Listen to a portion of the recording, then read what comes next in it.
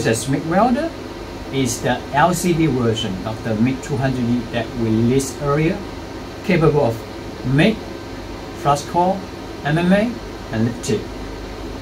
With 4.2 inch large LCD screen, yeah, available at either 220 single voltage or 110 220 double voltage.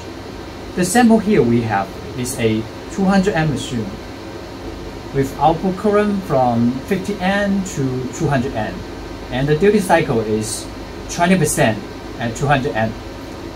In the meantime, this multi-process welder fits both 1 kilo and 5 kilo wire spool. We'll go further into the operation. Turn it on. First we have the loading screen. On the low left, there's the welding process selection where we can choose MIG, lift TIG, or MMA. Starting with MIG. On the top left, there are different gas types. 100% CO2, mixed gas, flux core without gas. And on the top right, there are different wire diameters to choose from, including 0.6, 0.8, 0.9, 1.0 millimeter. Under MIG process, one thing important to know is that it can be synergy control with parameters of welding voltage and wire feeding speed match automatically. And in synergy control, there's also the fine adjustment of the welding voltage.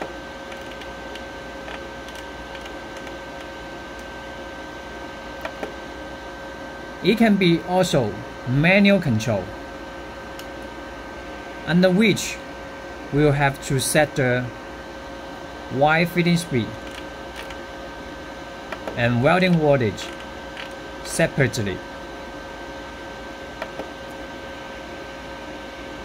On the MIG process, there are also the settings for inductance, 2T, 4T,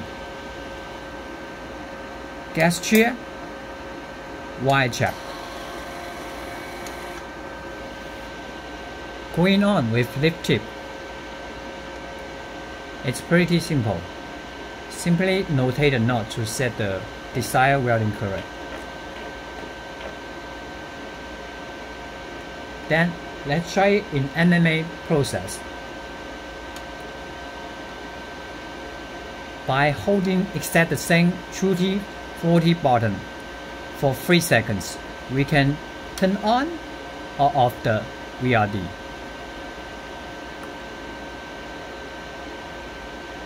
In the meantime, we can also adjust the hot start arc force